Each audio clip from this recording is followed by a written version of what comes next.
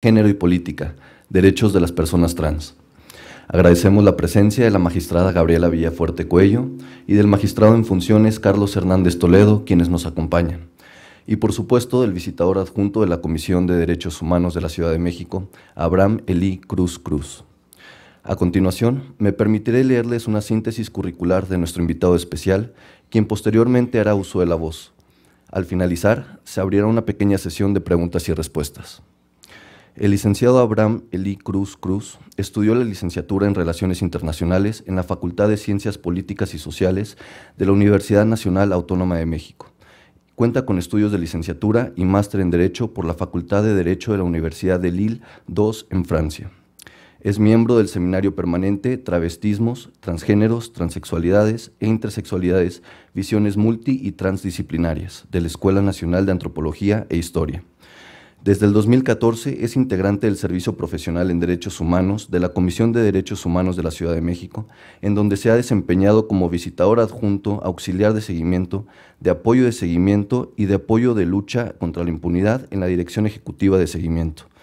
Entre sus publicaciones se encuentran diversos artículos para la revista de estudios europeos e internacionales de la Asociación de Estudios sobre la Comunidad Europea en México y en la revista Defensor de la Comisión de Derechos Humanos de la Ciudad de México. Recientemente, la Universidad Nacional Autónoma de México publicó el libro Política Internacional, Temas de Análisis 5, en el que colaboró con el capítulo Violencia Estructural contra las Personas Transgénero, una mirada a la vulneración internacional de sus derechos humanos Licenciado Cruz, bienvenido.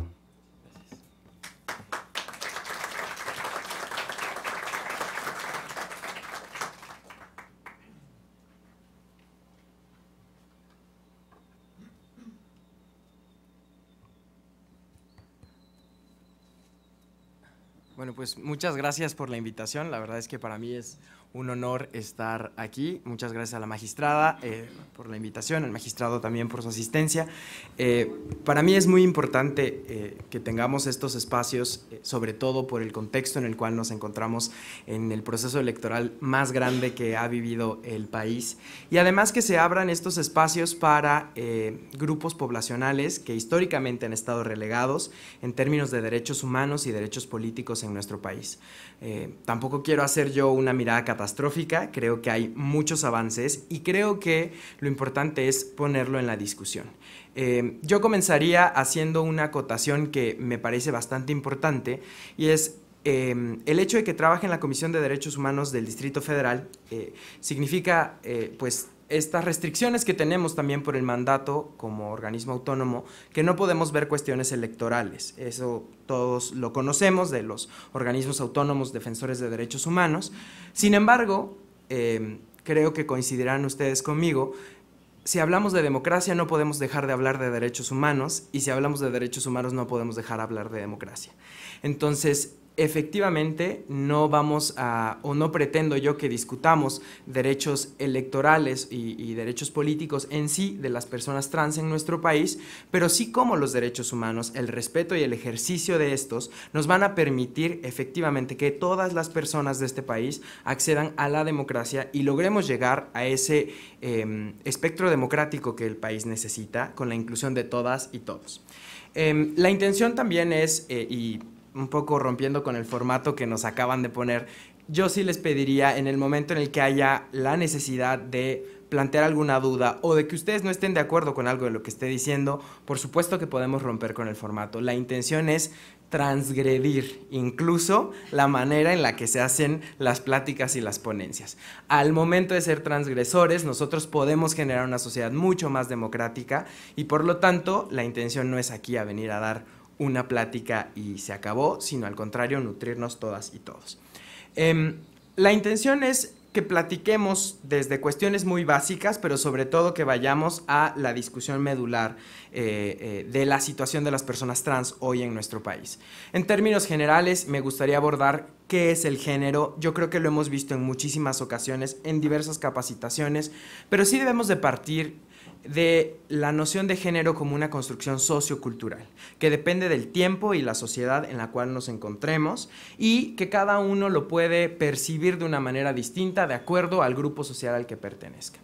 Eh, está basada en una diferencia sexual, una diferencia física evidente, eh, que finalmente tampoco es que sea completamente normativa y, e idéntica en todos los individuos, pero que parte de creencias, prescripciones y atribuciones que las sociedades les da a cada uno de los individuos. A partir de esto, nosotros podemos ver al género como una manera de interpretar al mundo. Eh, a partir de esta interpretación, nosotros podemos tomar decisiones y acceder o no acceder a oportunidades. Y eso lo veremos con ejemplos muy claros adelante. Eh, una de las cuestiones más importantes que hemos visto en el género en la actualidad es que se identifica como lo propio de las mujeres y lo propio de los hombres. Sin embargo, tenemos que romper con estas concepciones binarias en las cuales no solo se apropian dos géneros de las diversas manifestaciones socioculturales, sino que puede haber otros muchos géneros, ¿no? A partir de esta concepción de lo que es género, pues establecen obligaciones sociales y prohibiciones simbólicas. Sobre todo creo que con el avance normativo que ha habido en la, en la Ciudad de México y en el país en general, no podríamos decir que hoy haya prohibiciones tácitas en las leyes o violaciones al ejercicio de los derechos humanos o a los derechos políticos y electorales de ninguno o ninguna ciudadana en México.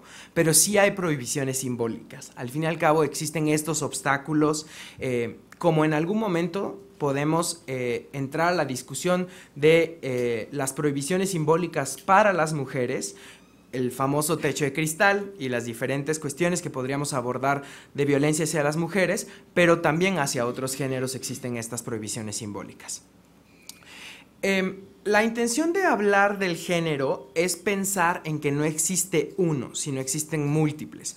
Hay trabajos de Naciones Unidas, eh, sobre todo de em, el relator especial para la violencia contra personas LGBTI, que nos habla de la existencia de hasta 112 géneros distintos o trabajos en donde encontramos 30 manifestaciones o identidades de, eh, de género, digamos, se fluctúan entre diferentes eh, números y em, características de las identidades.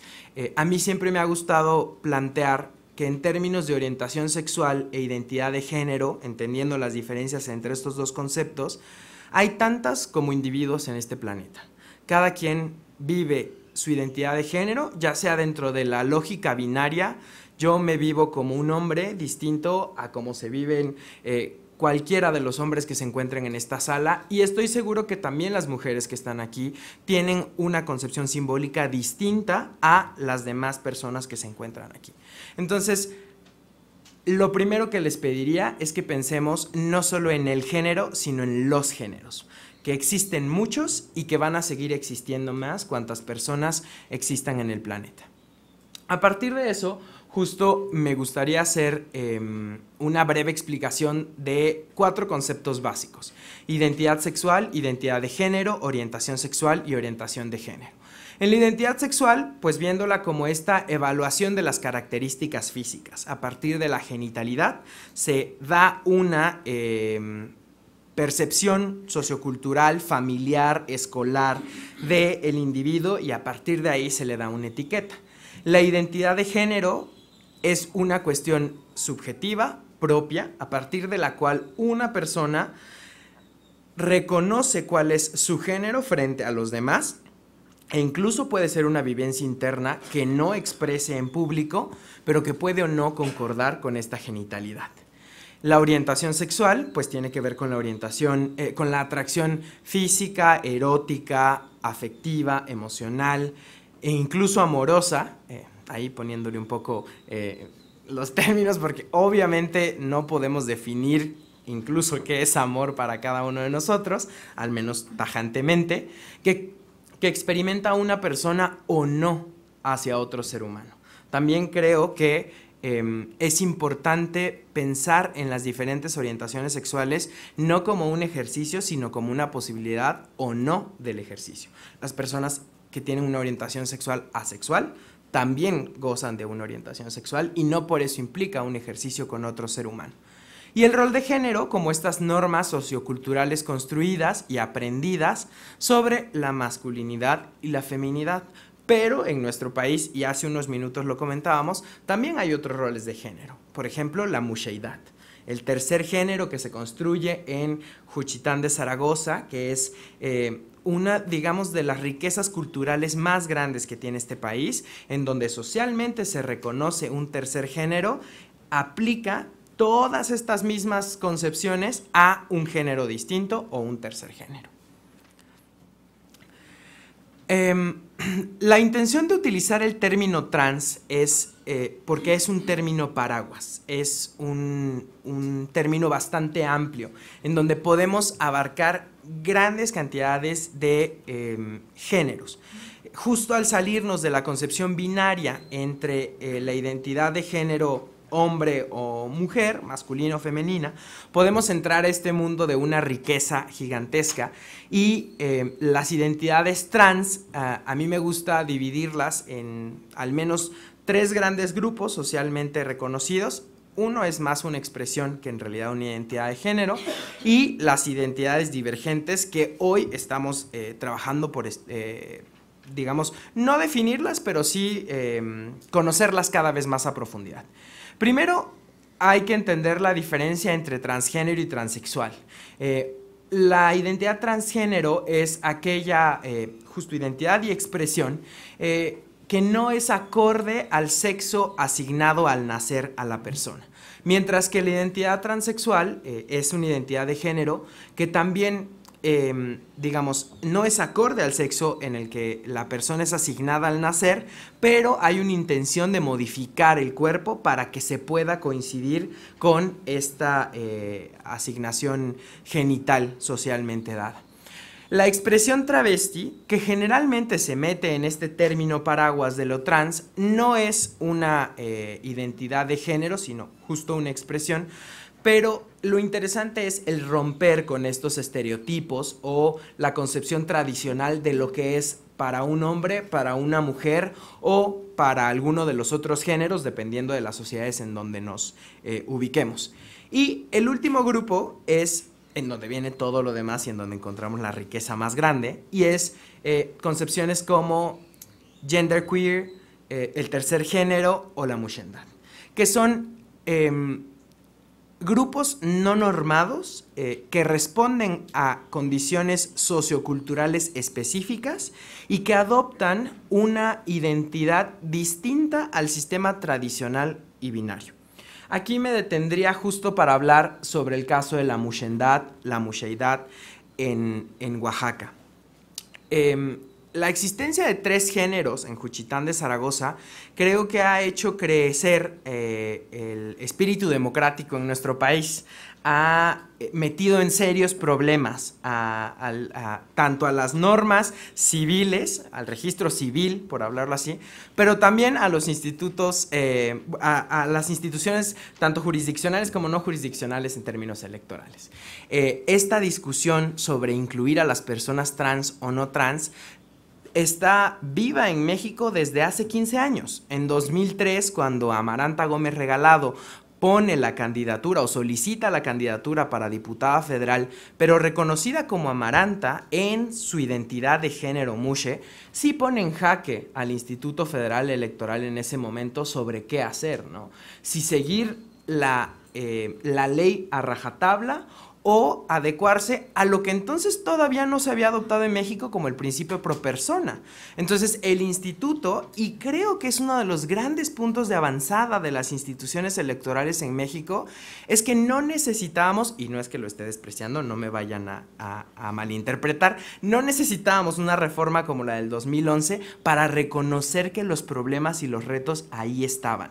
¿Qué hace el Instituto Federal Electoral? Pues se le otorga a Amaranta Gómez Regalado la candidatura y participa en términos de igualdad y equidad en la contienda con las y los demás candidatos eh, para la Diputación Federal. Y a partir de ahí empieza como todo una consecución enorme de, luchas por eh, el reconocimiento de los derechos políticos, electorales y los derechos humanos de las personas trans, ¿no? Eh, posteriormente lo enumero, pero el hecho de eh, la circular 111 del Instituto Electoral del Distrito Federal era muy importante porque pone en, la mesa la idea de quitarnos los prejuicios sobre la apariencia física y reconocer la identidad de género de la persona que entra en conflicto con la credencial para votar. Y entonces era, y es un tema que vimos apenas hace unos meses, digamos, tiene mucho tiempo que se viene discutiendo cómo el derecho a el libre desarrollo de la personalidad no debe de significar un problema para el ejercicio de los derechos políticos electorales, pero sí un desafío. O sea, no tiene por qué ser este obstáculo, pero como instituciones defensoras de derechos humanos, y ahí teníamos hace unos meses a CONAPRED advirtiendo al Instituto Nacional Electoral que podía ser discriminatorio el protocolo que se estaba proponiendo, y tenemos a las instituciones eh, eh, eh, dedicadas al trabajo electoral en nuestro país, diciendo, bueno, pues cómo lo vamos a, cómo lo vamos a enfrentar, cómo vamos a incluir a las personas. A mí lo que me gustaría justo es decirles, igual no en una especie de choque, pero cómo eh, México tiene este avance a pesar de no cumplir a cabalidad con la totalidad de las obligaciones internacionales que tiene en la materia.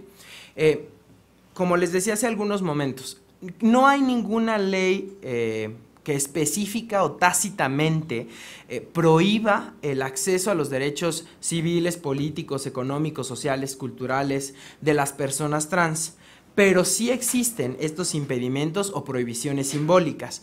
La Declaración Universal de los Derechos Humanos, el Pacto Internacional de Derechos Civiles y Políticos y la Convención Americana sobre Derechos Humanos, pues nos dan una guía sobre las obligaciones que tiene el Estado mexicano para, em, digamos, proteger y promover el ejercicio de los derechos humanos de las personas trans. Pero en términos efectivos, la mayoría de las personas trans no acceden, por ejemplo, a cargos de representación eh, eh, popular, no porque las instituciones se lo prohíban, sino porque socialmente todavía existe estigma, discriminación. Entonces, ahí hay una responsabilidad del Estado para combatir estas prohibiciones simbólicas en las que eventualmente, eh, quitándolas, se pueda participar con plenitud. Entonces, ¿Qué es lo que hay? Hay justo una barrera simbólica que prohíbe que las y los ciudadanos trans puedan acceder a esos derechos que tenemos garantizados en la ley. Y a partir de eso creo que hay ejercicios bastante interesantes, como los principios de Yogyakarta o principios sobre la aplicación de la legislación internacional de derechos humanos en relación con la orientación sexual e identidad de género. En particular, casi no se ve porque es muy pequeño, pero a mí me gusta citar mucho el artículo 25, el principio 25, sobre la participación en la vida pública. Pudiéramos jalar de cualquiera de los otros tres documentos el inicio sobre el derecho a la participación en la vida pública de todas y todos los ciudadanos y prácticamente la redacción es igual. Sin embargo, eh, el matiz que ponen los principios de Yogyakarta a partir de un ejercicio con organizaciones eh, no gubernamentales es el hecho de trabajar en la agenda pública para, para, que la discriminación no sea una barrera para personas con orientación sexual distinta a la heterosexual y con identidad de género, fuera de eh, eh, los términos binarios, que puedan participar en todos los procesos de la vida pública, que puedan ser electos y que puedan elegir. En términos de elección, creemos que el gran avance que se tiene en México es que la mayoría de las personas trans acceden a elegir a sus representantes populares, pero todavía no cuentan con una representación suficiente. Y aquí, bueno, yo que les voy a venir a decir, pero seguro es de los temas que todo el tiempo están viendo debe de haber cuotas o no debe de haber cuotas de personas trans, debe de haber cuotas o no debe de haber cuotas para personas mushes. En realidad, y eso lo asumo como una opinión personal, no se trata de cuotas, se trata de la libertad y el ejercicio pleno de los derechos humanos para que puedas acceder a los mecanismos que te reconozcan con el derecho a participar. La cuota no resolverá la representación de las personas trans, solamente puede desencadenar ciertos asuntos como los que vimos también hace 15 días en el estado de Oaxaca con eh, eh, el uso, eh, digamos, turbulento un poco de la ley para la representación de em, las personas trans y en particular para el tercer género, el género Mushe, en Juchitán de Zaragoza. Em, justo como los retos que a mí me gustaría poner en la agenda eh, para el Estado mexicano es que se tiene que revisar, enmendar y promulgar leyes que aseguren el ejercicio de los derechos políticos de las y los ciudadanos con orientaciones e identidades de género diversas, que creo que es un camino muy avanzado, pero no acabado, como les decía hace unos minutos, Oaxaca es el ejemplo. Por supuesto que el Congreso Estatal se pronunció y dijo, tenemos que reformar la ley porque ahí hay un hueco importante. Adoptar las medidas para eliminar estereotipos y prejuicios, que creo que eso es la tarea primordial y hay instituciones que lo están trabajando, con APRED, por supuesto que lo hace en, este, eh, con el protocolo que, presenta el INE, que finalmente se le hacen las modificaciones con la participación de organizaciones de la sociedad civil, y garantizar el hecho eh, de participación de las personas, de las personas trans en eh, políticas que afecten directamente sus condiciones de vida. ¿no? Digamos, la participación política obviamente no se reduce a el ejercicio de elección y participación para ser electo a cargos eh, públicos, sino también en la construcción de políticas públicas en términos generales. Em, a partir de esto justo eh, quiero referirme a tres eh, momentos que me parecen bastante importantes. La circular 111 que les comentaba en el entonces Instituto Electoral del Distrito Federal, que justo lo que decía era comenzar a trabajar por el derecho a votar de las personas trans con independencia de la discordancia que pudiera haber entre su credencial para votar y la identidad y la expresión de género que tuvieran en el momento en el que estuvieran en las, en las casillas, el protocolo para adoptar las medidas eh, tendientes a garantizar a las personas trans el ejercicio del voto en igualdad de condiciones y sin discriminación del Instituto Nacional Electoral y pues justo estos famosos lineamientos de paridad de género em, para los partidos políticos eh, en la presentación de candidaturas ante el Instituto Electoral y de Participación Ciudadana de Oaxaca.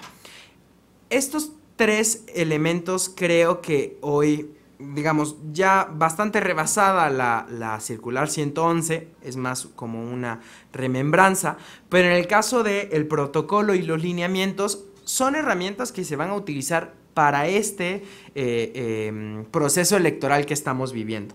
Y estoy seguro que a partir de lo que sucedió en Oaxaca, pues el tribunal tendrá mucho trabajo, seguramente después con los recursos que puedan interponer las personas que se consideren afectadas o no con respecto a su reconocimiento como integrante de un género distinto a hombre o mujer. Pero estos dos pilares creo que ponen sobre la mesa la necesidad de eh, ver los desafíos que tenemos como Estado mexicano para garantizar participación y para garantizar representación. En el caso de las personas Mushe, eh, creo que la primera lucha fue el reconocimiento administrativo de la modificación de sus nombres. Y hay ya tres entidades federativas que hoy han simplificado el procedimiento y que tenemos, como en la Ciudad de México, un trámite administrativo. Simplemente ya no tienen que someterse a estos procesos tan victimizantes de eh, análisis psicológicos, en algunos casos psiquiátricos, que lo único que seguían era perpetuar la patologización de identidades de género diversas. Sin embargo, tenemos todavía 29 entidades federativas en donde la tarea todavía se encuentra pendiente. Y si tenemos esa tarea del reconocimiento de la identidad diversa, por supuesto que aunque haya eh, protocolos y lineamientos de avanzada como estos, va a estar todavía bastante complejizado. Tenemos que garantizar, y aquí es donde les digo que se une la parte de los derechos humanos eh, y los derechos políticos electorales, garantizar el reconocimiento a la identidad y a la libre expresión, al libre desarrollo de la personalidad para poder desarrollar en verdad el ejercicio de los derechos electorales de las personas eh, trans. Em, justo a mí me gustaría tomar el caso de Oaxaca como una especie de mm, consecución de eventos.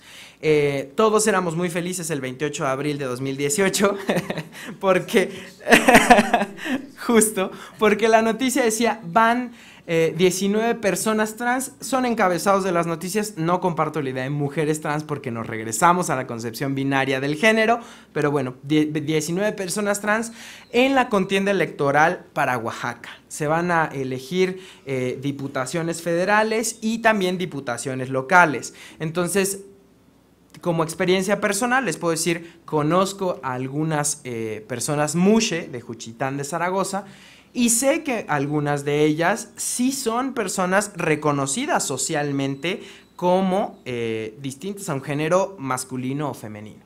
Sin embargo, nos encontramos el 8 de mayo, 11 eh, días, 10 días después, con que el Instituto Electoral estaba investigando una posible simulación de las candidaturas trans.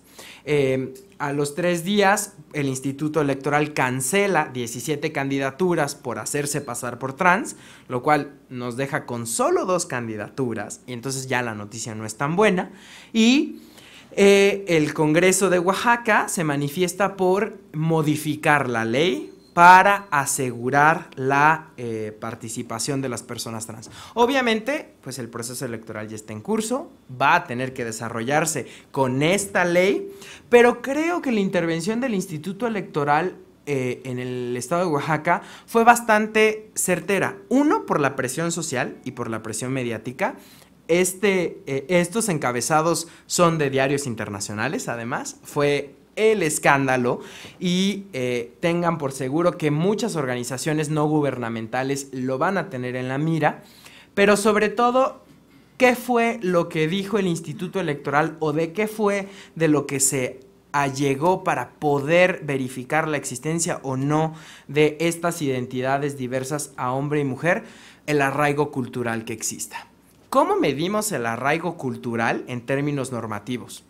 Es muy complicado, pero sí hay una legitimidad social en las comunidades, sobre todo en una comunidad tan grande y tan compleja como es Cuchitán de Zaragoza, con un alto porcentaje de población indígena, con una gran diversidad cultural y uno de los pocos casos, salvo la península de Yucatán, en donde hay un bilingüismo efectivo con el caso del zapoteco, ¿no? Entonces, obviamente Parece difícil el asunto, pero sí hay elementos de donde se puede agarrar el Instituto Electoral para decir hay arraigo o no hay arraigo por una diferencia de género.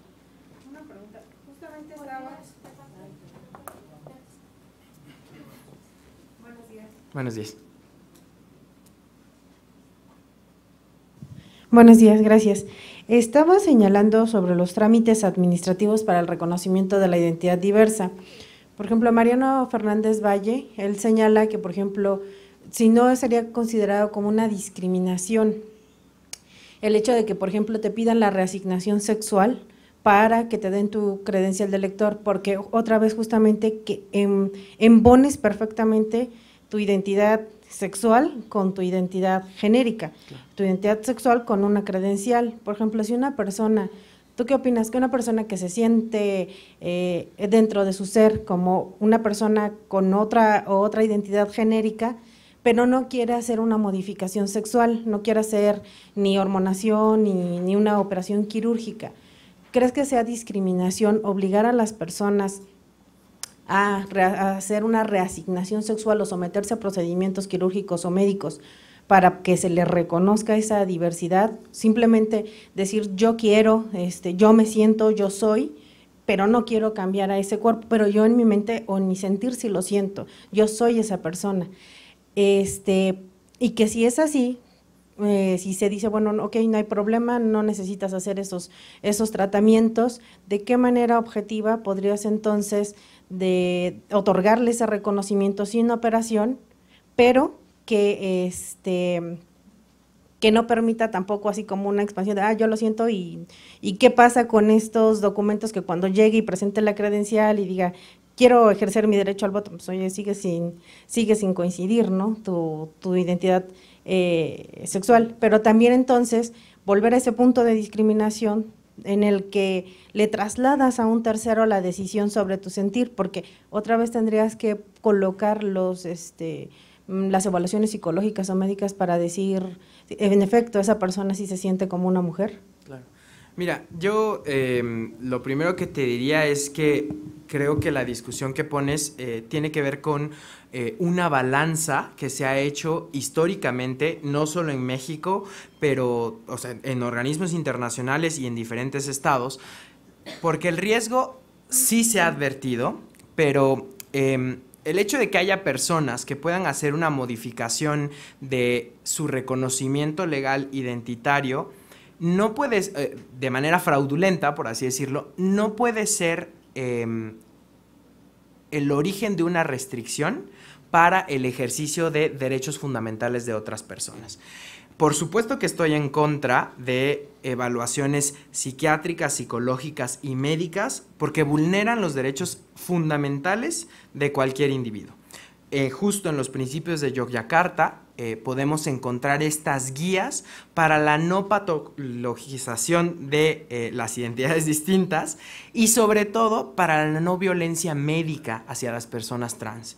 Nosotros no podemos obligar a una persona a vivir en un cuerpo distinto al que ellas quieran, como tampoco podemos obligar a una persona a vivir en un género en el que ellos o ellas se consideren que pertenecen. Entonces, eh, la discusión definitivamente no está acabada. Eh, yo creo que es una cuestión de ponderancia. Sí hay ciertos candados legales. Eh, ha habido algunas experiencias en México, por ejemplo, con personas que hacen un cambio de, de género, de identidad de género, por problemas legales. Y entonces cambian de género para poder, eh, digamos, escapar de un proceso eh, judicial, un proceso administrativo, pero creo que eso no es argumento suficiente para someter a otras personas a estos eh, procesos violentos y violatorios de derechos humanos. Entonces, lo que yo te diría es, el reto es enorme para las autoridades, pero tienen que encontrar este candado para no poner en riesgo los derechos fundamentales de las personas trans por encima de un posible fraude a la ley. Entonces, em, definitivamente las intervenciones quirúrgicas no podrían ser la opción, pero además porque hay otra cosa, y lo planteaba en, los primeros minutos en los que exponía. La identidad de género es una vivencia personal y subjetiva. Jamás va a haber una medición exacta y clara de cómo te sientes tu mujer que yo la pueda calificar. Yo sí te puedo decir ahorita, pues me parece que eres mujer, pero realmente es una percepción completamente subjetiva la que yo tengo. Tú tienes una concepción tuya y ahorita te podrías levantar y decirme, pues no, yo soy tercer género, pero tengo una expresión de género reconocida socialmente como cercana a lo femenino. Entonces, aunque nos fuéramos de nuevo a, a las evaluaciones psiquiátricas o médicas tampoco es un parámetro objetivo. En realidad creo que es un parámetro discriminatorio y violatorio de derechos humanos, pero que no asegura la supuesta objetividad que en su momento se planteó que tenía.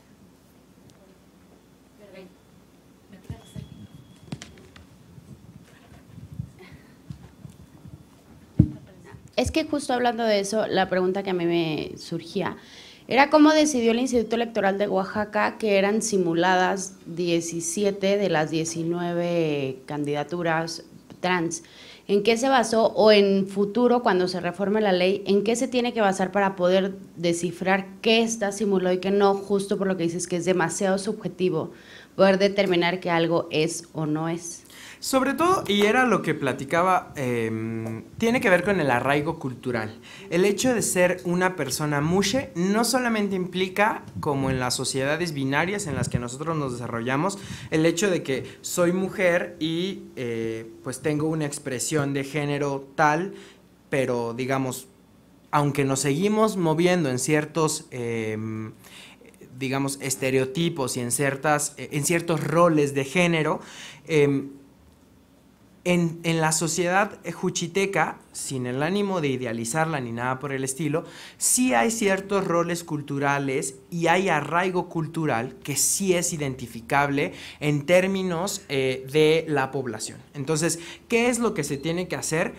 Eh, hay que hacer un trabajo de carácter antropológico para saber en dónde está el arraigo cultural de estas personas. Desconozco efectivamente el instrumento por el cual se pudo haber llegado a hacer esta evaluación, pero sí te puedo decir que es a partir de un arraigo lingüístico, cultural y de rol en el cual si las personas identifican o no como persona mushe a estas eh, candidaturas, entonces sí se les puede otorgar el registro como tal. Pero eh, si no existe este arraigo cultural, entonces ahí ya estaría descartado. Pero hay un elemento de subjetividad definitivamente.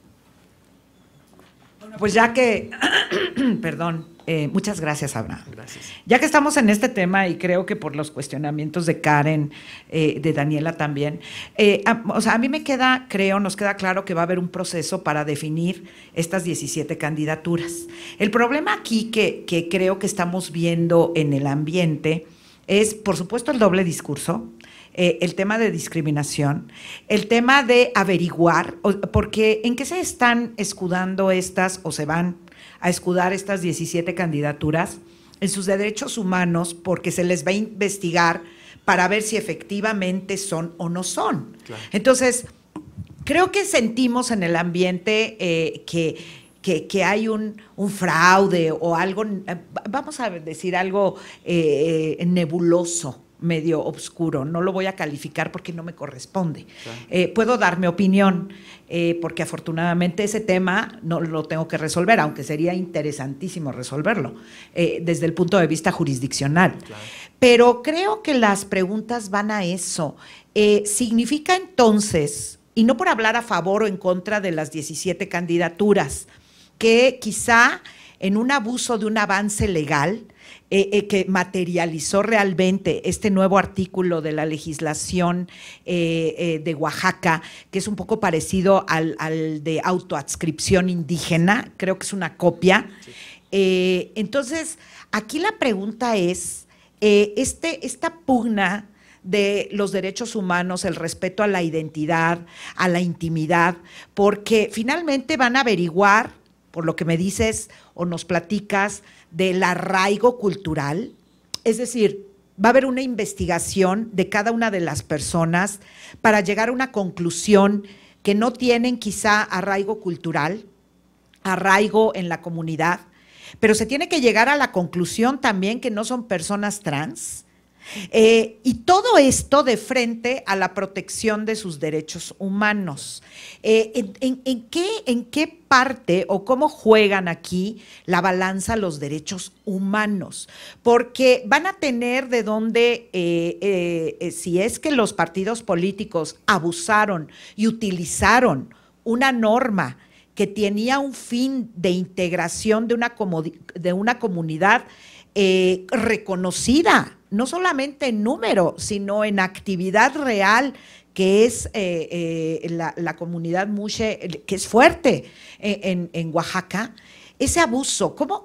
O sea, aquí a lo que voy es, estamos de frente a mm, la, lo pobre que somos como seres humanos, a mí ya me queda claro, porque ¿quiénes son los que van a juzgar? Esas personas que van a juzgar, porque nos estamos juzgando no solamente por una actividad ilícita, sino en nuestra persona. Eh, eh, la falta de integración y de aglutinarnos como seres humanos con tantas diferencias, porque las hacemos además más patentes, parece algo muy, eh, un, un, contrasentido, porque donde queremos integrar, hacemos patentes las diferencias para integrar.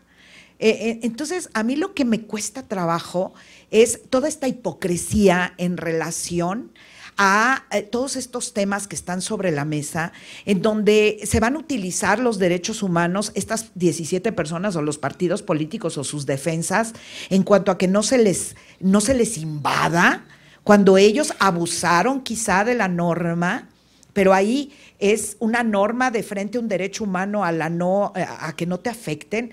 O sea, hay muchas preguntas alrededor de ello y lo peor de todo es que eh, nos vamos dando cuenta que, eh, que, como los seres humanos quedamos a deber muchísimo todavía.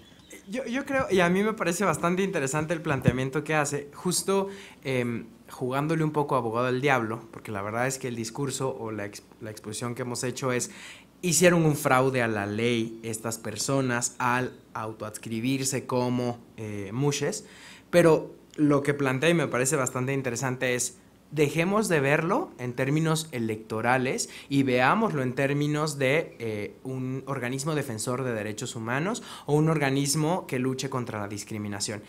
Esta parte, digamos, este elemento tan sutil de la identidad y que era un poco la respuesta que daba hace algunos momentos, la identidad de género es una vivencia interna, yo, y lo asumo como un comentario personal, yo no podría decirle así de frente a estas 17 personas cuyas candidaturas fueron canceladas, no eres mushe, porque no contamos con esos elementos específicos para hacerlo.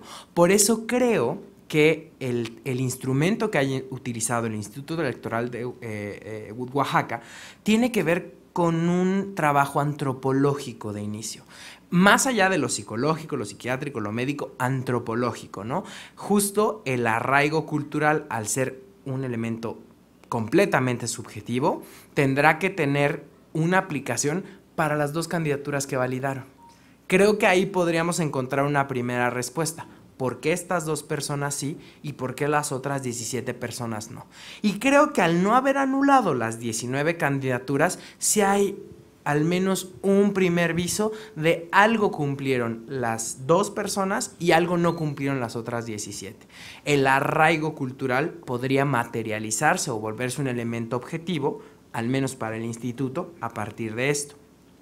Pero creo que además en esta parte de la, discusión de el por qué... Em, digamos, como el enfrascarnos en, la dignidad humana, en, el aprovecharnos eh, de eh, estas luchas ganadas por diferentes eh, actores, tanto de la sociedad civil organizada como la no organizada, los pueblos indígenas, etc., creo que lo que trae a la, a la mente es que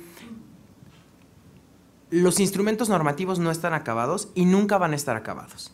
Las discusiones no están acabadas y nunca van a estar acabadas. Y con mucho gusto les podré decir, van a tener mucho más trabajo todos ustedes. Entonces, creo que al final es, hay que arraigarnos de la inter y la multidisciplinariedad para poder ver estos matices socioculturales que tiene México.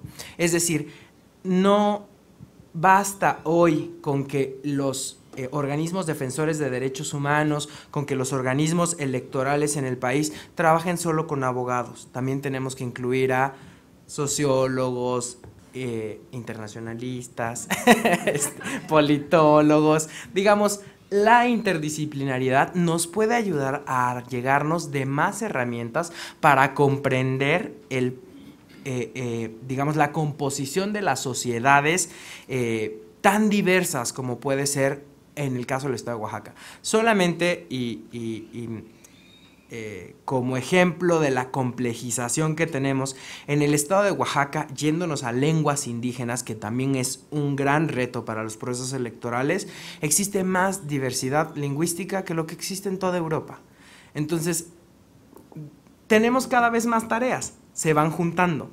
Ahora tenemos una tarea sobre las identidades de género diversas, pero también hay que conjugar esas identidades de género diversas con las, eh, eh, em, la identidad lingüística o la lengua materna de estas personas. Entonces, ¿qué es lo que se necesita? Seguir discutiéndolo, poner sobre la mesa y no casarnos con ciertas mediciones que nos quieran presentar algo como objetivo, porque en realidad son discusiones no acabadas.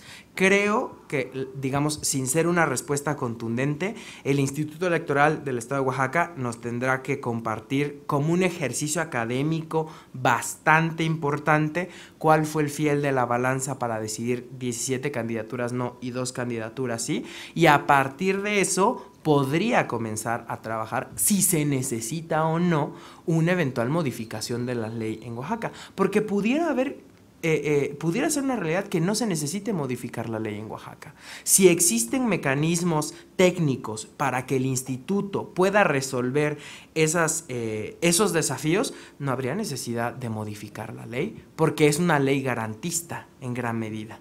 Solamente hubo un aprovechamiento que nosotros lo suponemos hasta ahora, pero es una ley de avanzada en cuanto al reconocimiento de em, derechos de las personas no reconocidas dentro de las identidades de género binarias.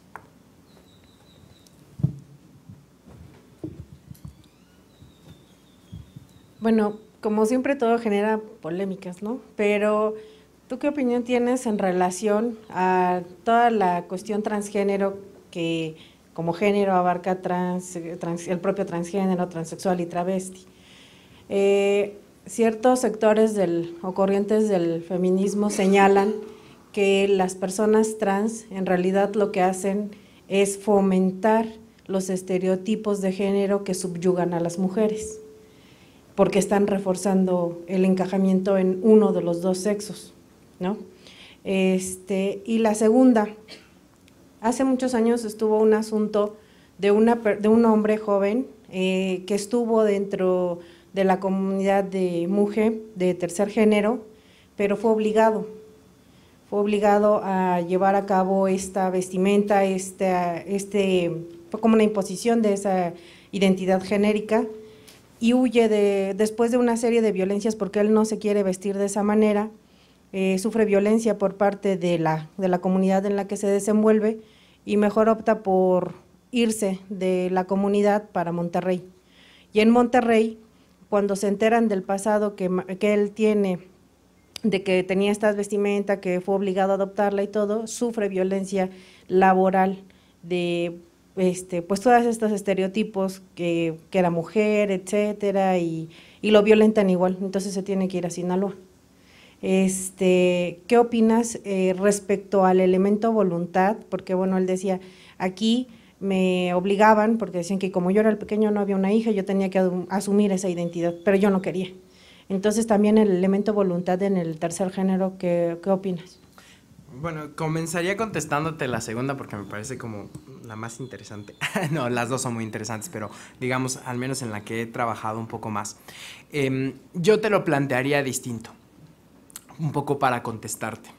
Imagínate que yo nací en la ciudad de Oaxaca en 1988 y que yo desde que tengo conciencia consideraba que eh, mi género era eh, ser, yo tenía una identidad de género femenina, de mujer.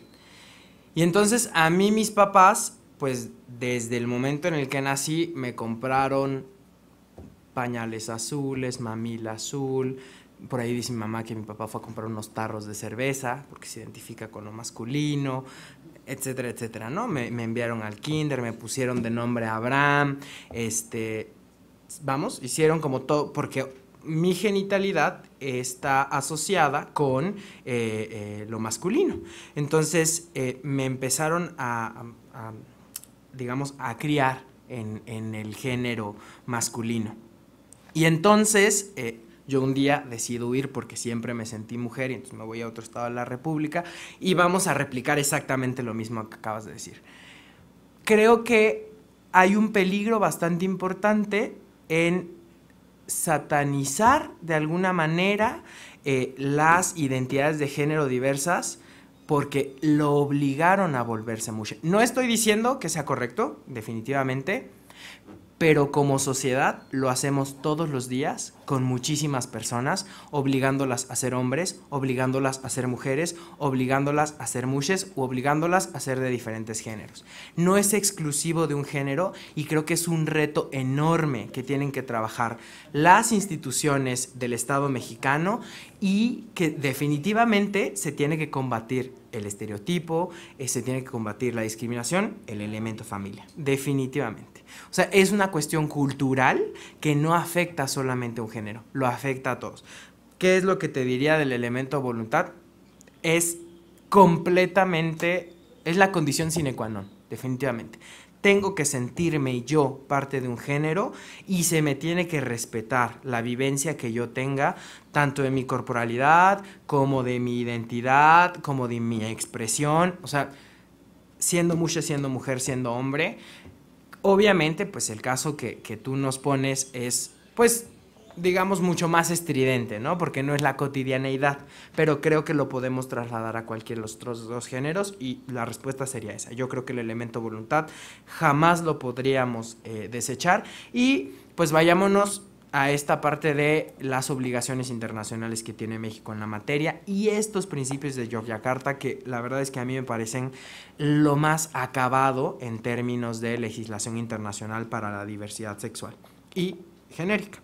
Y en el caso de eh, la identidad, el estereotipo y el feminismo, yo creo que es una discusión no acabada. Yo creo que, eh, en primera, y es también lo que me gusta, porque obviamente quienes nos traen eh, el, asunto de la discusión del género y los géneros es el feminismo y los feminismos. Existen múltiples feminismos y son quienes nos ponen en la mesa el hablar fuera de los estereotipos, del binarismo, etcétera, etcétera. Tenemos grandes representantes en México que han trabajado eh, estas, eh, digamos, estos retos sobre estereotipos sí, estereotipos no. Voy a meter más temas que son todavía más complejos trabajo sexual sí, trabajo sexual no. Eh, vamos, son cuestiones que no se han terminado de discutir porque no hay una sola verdad. O sea, el feminismo puede haber corrientes que digan no estamos de acuerdo con eh, eh, las, las, expresiones de género, digamos, más próximas al estereotipo, pues obviamente por las condiciones de violencia que ha vivido la mujer en nuestras sociedades, pues digamos, no tengo que comportarme, vestirme, maquillarme o hacer algo solo por el hecho de ser mujer, sino porque yo lo quiera. Y ahí Em, insisto, no es una cuestión eh, acabada, pero sí creo que nos podemos ir hacia la dignidad del ser humano y esa siempre va a ser la respuesta, creo, eh, más completa. Y es, si una persona considera que su expresión de género es... Eh, satisfactoria para ella, incluso con elementos que se consideran parte del estereotipo, yo creo que la dignidad está por encima de cualquier otra cosa. Respeto estas opiniones, definitivamente creo que tiene una base eh, eh, académica muy sustentada, pero yo me iría por la dignidad del ser humano frente a cualquier otra cuestión. ¿Alguien más? Pues les agradezco muchísimo, para mí ha sido un gusto estar con ustedes y eh, pues espero que de algo, al menos como para fomentar la discusión, haya servido que hayamos platicado esta mañana. Perdón.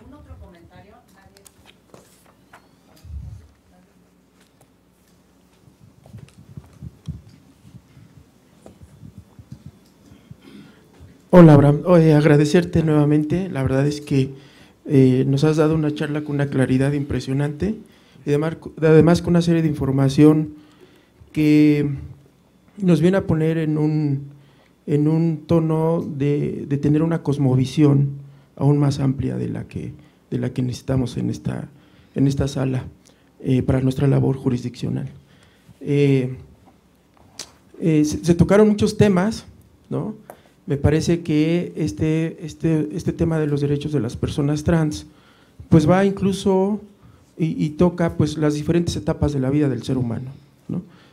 contabas esta parte de, de, la infancia y, que me parece que es de las más complicadas. Si de por sí es complicado a lo mejor que haya un reconocimiento de los derechos de las personas trans adultas o jóvenes, imaginemos la de los niños. ¿no?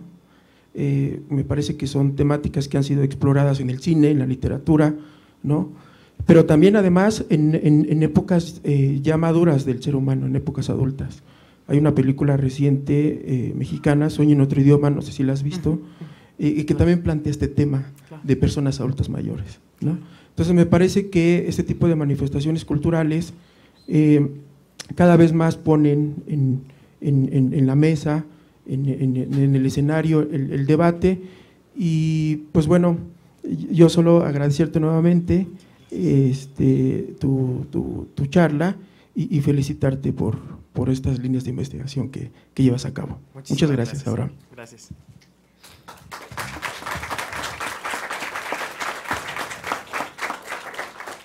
A lo mejor no es lo, más correcto eh, tratar de comprometerte eh, en, micrófono.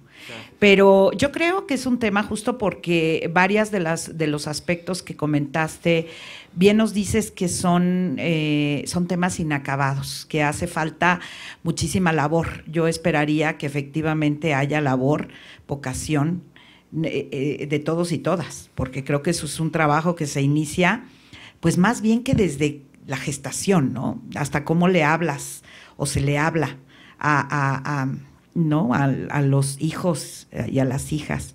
Pero bueno, eh, al margen de ello, y yo creo que este, es, estas conversaciones podrían dar más, ojalá, Abraham, eh, pudiéramos contar con tu, con tu presencia una vez que esto avance, porque creo que el tema de Oaxaca será una referencia no nacional, bueno, no local, no nacional, a mí me parece que se va a llevar a esferas internacionales sobre todo para poner el tema sobre la mesa y, ver cómo, cómo, estas diferenciaciones a veces eh, eh, nos, nos, nos, marcan, nos, nos terminan marcando muy mal y dejando muy mal eh, como seres humanos.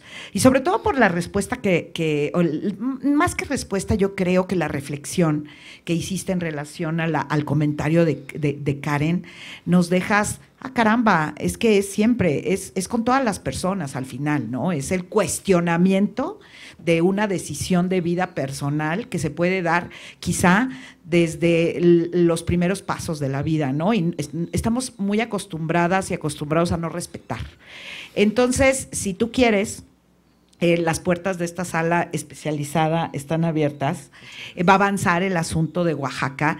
Eh, primero se decidirá a nivel local, avanzará a instancias superiores, sin duda, por la cuestión ordinaria quizá vaya a instancias internacionales. Así es que tu comentario, tu valoración, tus reflexiones sobre el tema serán propicios sin duda.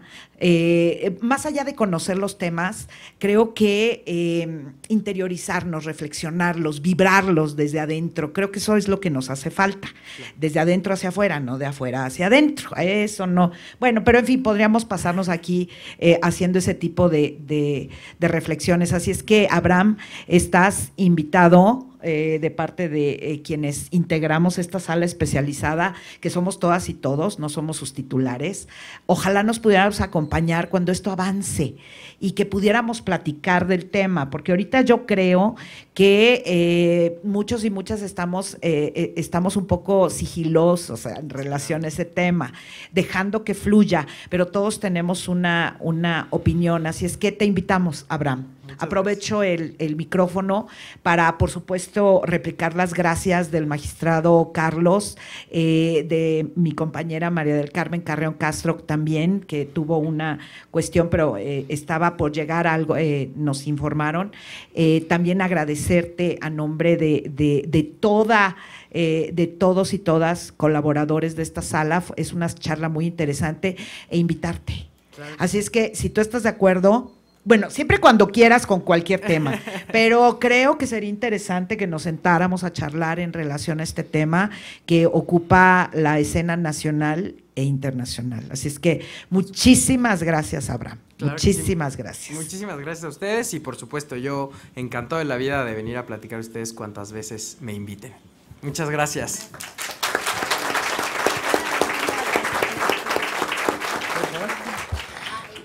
Sí, Abraham, como paisana, precisamente que soy del Istmo. Y precisamente este tercer género, este, yo le comenté a todos mis compañeros, es algo que nosotros nos sentimos orgullosos de, pertenecer una, a un una grupo indígena que respetamos el tercer género. Es una situación, sí, cierto, muy cultural. Desde niña uno no lo ve como, como algo malo ni discriminatorio, es como parte de nuestra identidad. Y sí, claro, cuando tú sales de, del istmo, entras este choque de, de, por qué la sociedad, de repente los seres humanos somos, este, marcamos o, discriminamos. Y la verdad, cuando vi la, la noticia, me sentí muy, muy contenta de que este, un grupo de, de, mujeres este, que este, dijeran, oigan, nosotros también queremos participar, tenemos el derecho no le seguido muy bien la nota. Sé que hubo este, esta situación del escándalo de, este, de que unos dijeron, este, eh, están, están aprovechando el espacio para decir, este, pertenezco al, tercer género y me escriben. A mí se me hace muy raro, porque ahora sí conociendo mi tierra, es que se me hace completamente raro porque es algo que, se da, este, no, em, ahí desde niños este, se, va, se, va, se va respetando la, la, identidad. El que se quiere poner la falda a los 4, 5, 6 años, adelante. El que em, la, la manía, la forma de, expresarse no es algo que, que, que se, marque como malo, es más, es, es es que no, esto se ven tan normal, por eso se me hacía tan raro, la desconozco, se me hace tan raro, porque nadie se va a decir, este, eh, soy, soy este hombre, nada por un espacio, esa es mi concepción.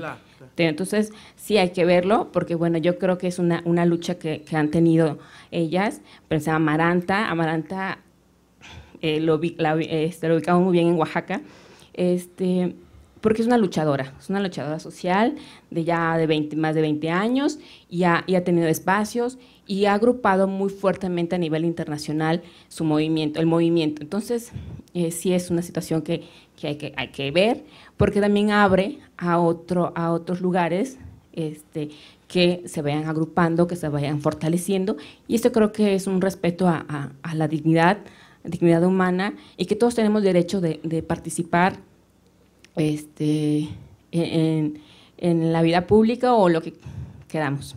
Y nada más quería como mm, respaldar o no sea. Yo, yo, lo único que agregaría y justo eh, es em, el hecho de haberlo puesto en la agenda nacional. Yo, yo creo que obviamente los partidos políticos, sea que se haya hecho fraude a la ley o no se haya hecho fraude a la ley y las personas que están involucradas en esto, no tenían la conciencia del impacto que iba a tener en términos nacionales e internacionales esta cuestión. Y la verdad es que enhorabuena que se haya metido la discusión, porque no se va a quedar ahí. Va a tener que haber un trabajo muy grande para saber efectivamente cómo garantizar la participación de personas con un género distinto a hombre y mujer en este país. Muchas gracias. Gracias.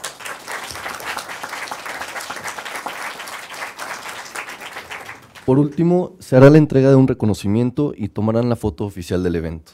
Agradecemos su asistencia a esta plática y la participación de nuestro invitado especial. Excelente día a todas y todos. Muchas gracias.